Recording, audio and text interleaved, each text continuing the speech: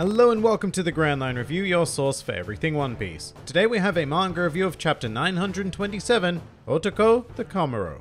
And what we have this week is something that I fear is going to be pretty easily dismissed amongst the fanbase in general, because an argument can be made that nothing really happened, nothing of any importance I should say, but I actually thought that it was a lot of fun. Primarily because what I'm really craving right now is that proper full-on Straw Hat reunion. That moment where we can see the whole crew together for the first time since Dressrosa. And while we didn't quite get that this week, we had a mini reunion of sorts, which the more I think about it, the more I realize was absolutely necessary. This assortment of Straw Hats was not chosen at random. These are three of the four who weren't present on Whole Cake Island, and who wouldn't have seen Sanji since Dressrosa. So this chapter is going a long way to close the book on all of that, and all we really need now is for Sanji and Zoro to interact, and we're back to business as usual. And it was just nice seeing these four interact in general. One thing that really interested me though, is just how completely unconcerned they are with Luffy's situation. They just have complete faith that he'll be out and ready to operate when necessary, which makes sense given how much faith they have in him. I just didn't think they'd be quite so casual after having seen all of their reactions to the news of him being imprisoned. But hey, that's not our concern this week, because just as seated in the last chapter, we have some trouble brewing around Sanji from the Kyoshiro family. Now the guys who attack Sanji are pretty much the epitome of stock standard grunts, but the few glimpses we got of Kyoshiro himself are actually starting to make me appreciate him a lot more. I wasn't sold on his design initially, it's a bit classically Oda weird, but at the same time those sorts of aesthetic gambles usually end up paying off quite well for One Piece, and I can't help but find myself excited to see Kyoshiro in action. During this chapter, he just had such an intimidating presence around him, especially since he seems to have the authority to just go and send people directly to Queen. All in all, I'm just glad we're developing some decent villains outside of the Beast Pirates. And just while we're on that, we also had our first look at what appears to be Orochi this week, although what we saw was a mere silhouette of a multi-headed dragon, so it looks as if Orochi's design may be directly inspired by Yamata no Orochi, a legendary eight-headed and eight-tailed Japanese dragon. However, in the silhouette we can only currently see five heads, but hey, there could be more. All of his visible dragon heads also look quite goofy, which kind of worries me because I'm very much hoping that Orochi ends up being a legitimately threatening villain rather than a Spandam or a Hold'em type villain. There was a pretty obvious flag in this chapter with Robin remembering that Kyoshiro called Orochi a coward, so I guess at this moment it's entirely possible that Orochi is another one of those, how, how shall we put this, boldly designed smile users. In any case, if Orochi is a fruit user, it's pretty insane either way because, well, we already have a dragon in the series in the form of Kaido. So if we do have another mythical dragon Zoan, in theory that one could trump Kaido's fruit. I mean, if indeed Kaido is the user of a dragon fruit, at this point he could still be a dragon who ate a more humanoid type of fruit. But whatever the case may be, we could be drawing conclusions too quickly. Oda's storytelling in the early stages of an arc is generally used to mislead the audience for several different effects. So Orochi could be a Paramecia or even a Logia user who enjoys conjuring dragon forms out of whatever he may be, similar to what Magellan was capable of really. And hey, he could not be a fruit user at all, and just likes playing with dragon puppets or something. And yeah, that sounds stupid, but you know what I mean, there are a fair few different ways this could go rather than just down the obvious path. But the entire reason we see or hear from Orochi at all has to do with a new character by the name of Komurasaki, who appears at first glance to be based on a historical figure of the same name who lived during the 17th century. She was a courtesan who worked in a brothel in New Yoshiwara, but rather interestingly, it is her lover who seems to be much more well known than herself, a samurai by the name of Gonpachi Hirai. And I'm not going to go into the whole story here, but it essentially all ends in tragedy, with Hirai being executed and Komurasaki committing suicide. And I just bring that up because if Oda's going to draw inspiration from such areas of history, then I fully expect to see a form of Gonpachi Hirai appear in the story as well. And you know what? He may very well have already. Apparently Gonpachi became a murderer and a thief in order to continue paying for Komurasaki's time, so perhaps a character like Kamazo the Manslayer, who our attention was brought to last chapter, will act as the Gonpachi type character in Wano, driven to murder for the sake of love, or you know, something like that. Anyway, just keep that little piece of history in mind as we move forward with the story because it might be the key to recruiting another one of Kinemon's sought after samurai. We also met young Otoko this chapter, who I'm just going to call Toko, because every time I say Otoko, it just makes me feel like I'm saying man, which is the joke, I suppose. She has an intriguing little quirk where she seems to laugh even when crying, and I feel like we're going to get quite a heartbreaking story behind this. Toko is a Kamuro, so an attendant for a courtesan, in this case Komurasaki, so it may have been very painfully drilled into her at some stage to always remain laughing no matter what the situation. I'm really glad they referenced that quirk though, because when it first popped up in the chapter, I was all like, yeah, oh, Oda man, I don't mean to question your artwork, but that girl absolutely does not look like she's crying. And despite that idea mulling around in my head, Toko provided a positively delightful presence during the chapter, which I think can be surprisingly difficult to pull off with child characters, and a lot of the time they just end up being annoying instead. But with Komurasaki and Toko, we have another new faction emerging in Wano, which is great. It's expanding the country nicely, and we can't have a great adventure on the land of samurai without a hell of a lot of depth in regards to the citizens of Wano. Other than that though, this chapter is pretty much just fun times with the Straw Hats. Sanji kicking one of the grunts was fun to see, but the best part was when he force fed him the soba noodles afterwards, followed by the second best part of taking the grunt's money as payment for the food. Oh, and even Franky got involved in the action by adopting a move from one of the manliest combatants in the One Piece world, Senor Pink. Franky 100% learnt the power of the suplex from his duel with the baby clad Pink, and I really appreciate those little hints of evolution within characters. But that pretty much does it for chapter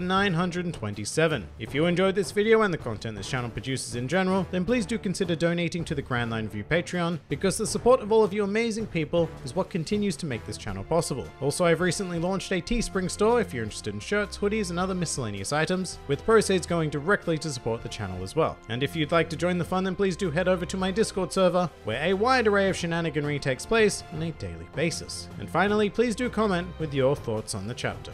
This has been the Grand Line Review, and I'll see you next time.